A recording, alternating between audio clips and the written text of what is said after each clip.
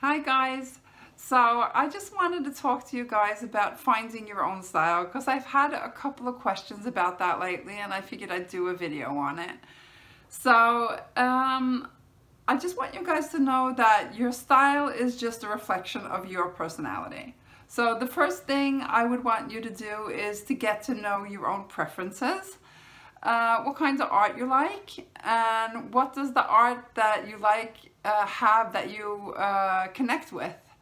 So sit down and think about that and when you find once you find out what it is I want you to take it and bring it into your own work. It might be color, it might be a composition, it might be line work, whatever it is, take it and use it in your work because that is going to make you happy and being happy is a real good start when you want to start painting. So um, the next thing is to find out what it is that inspires you. It could be a walk in the park, it could be a person, or like for me, it's the ocean.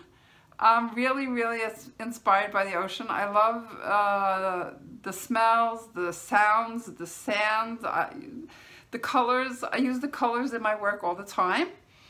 And I'm also inspired by my own, uh, my own emotions.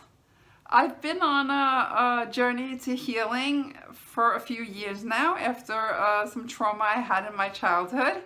And I've used that in my work so much, guys. So if you uh, connect with your own emotions like that, it's great to use. So think about what you what you are inspired by. The next thing I want to talk about is getting over your own fears. So uh, there has to be room to make mistakes. I know nobody likes to make mistakes and I know that you don't like making bad art. I don't like making bad art, but we all do. And that's just the fact. And instead of putting yourself down, like I used to put myself down all the time. I used to like say to myself that I was never going to be good at this and this isn't working and oh you suck and da da da da da da da da.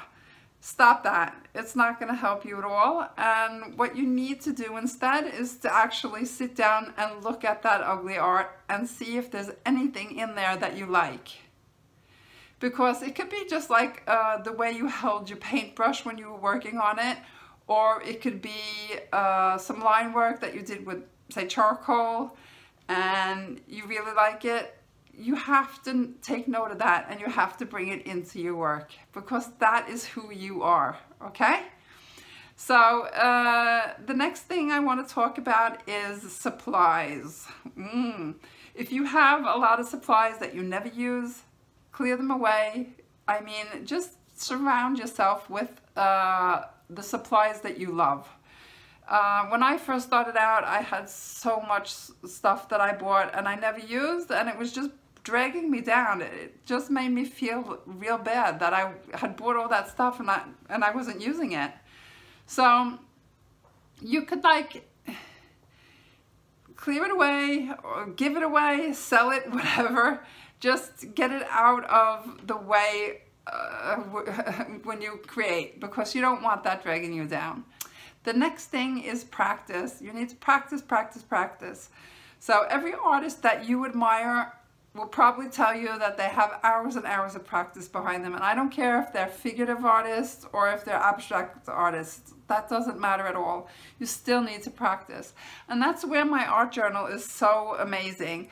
It gives me uh, the opportunity to paint so much more than uh, people who don't art journal paint because they're working on canvas all the time, right? And here I am getting to know myself I mean, I'm painting probably 10 times what they paint because I can paint every day if I want to. I have no problem with that. I just flip the page in my book and I have a new one.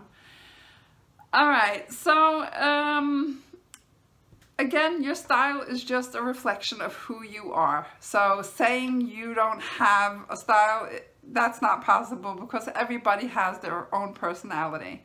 All right? So I just want you guys to uh, remember that you are good enough and you can do this, all right? All right, I'll be talking to you again soon. Bye-bye.